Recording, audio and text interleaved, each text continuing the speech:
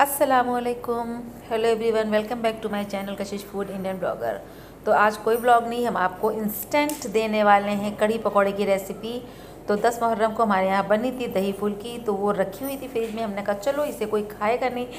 दही भी खट्टी हो गई है तो चलो बनाते हैं इसी से जो है कढ़ी पकौड़ा।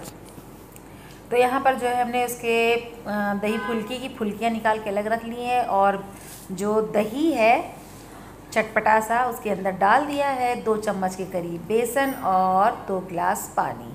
अब इसे अच्छे से चला देंगे, इसमें जो है बेसन के लम्स नहीं रहना चाहिए। और अब चलते हैं किचन में बावर्ची खाने में तो हैं ही है अब चलते हैं चूल्हे के पास। यहाँ पर कढ़ाई है, तेल गरम हो गया है सरसों का, इसके अंदर हींग, ज़ीरा, राई, मेथी, खड़ा मिर्चा डाल दिया फिर उसके बाद जैसे ये सारी चीज़ें हो गई, उसके अंदर लहसुन, अदरक जो है हमने दरदरा कूट कर डाल दिया। अब इसे थोड़ा सा सौते करेंगे और उसके बाद जैसे ही ये सारी चीज़ें हो जाएँगी तो जो हमने दही और बेसन फेंट के रखा है, वो इसके अंदर हम शामिल कर देंगे। और इसे अब हम चलाएँगे चलाएँगे चलाएँगे।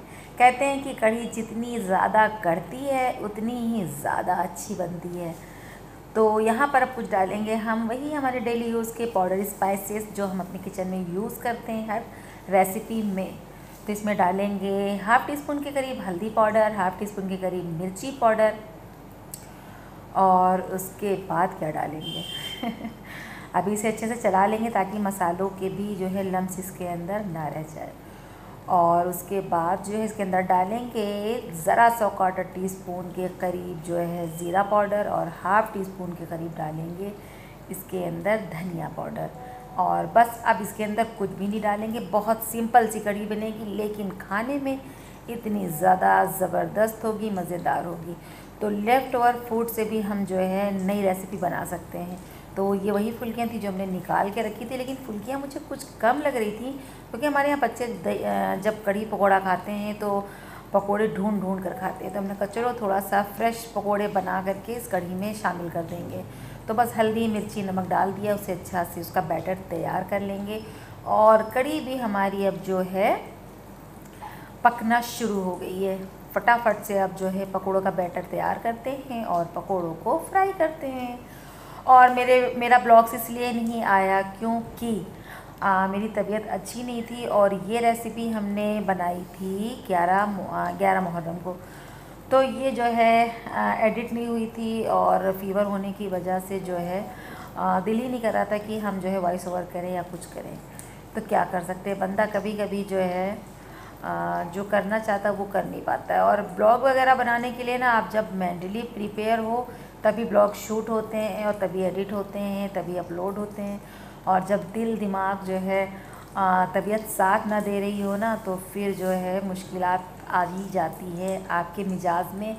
और चाहे वो यूट्यूब का काम हो लाइफ का कोई भी काम हो, फिर उसमें दिल लगता ही नहीं है। आप मेरे बात से इतफाक़ रखते हैं तो कमेंट सेक्शन में ज़रूर बताइएगा। तो पकोड़े तल गए हैं और हमारे यहाँ नीचे गार्डन में लगे हुए हैं करी पत्ते इसके बगैर जो है कड़ी का तड़का अधूरा रह जाता है।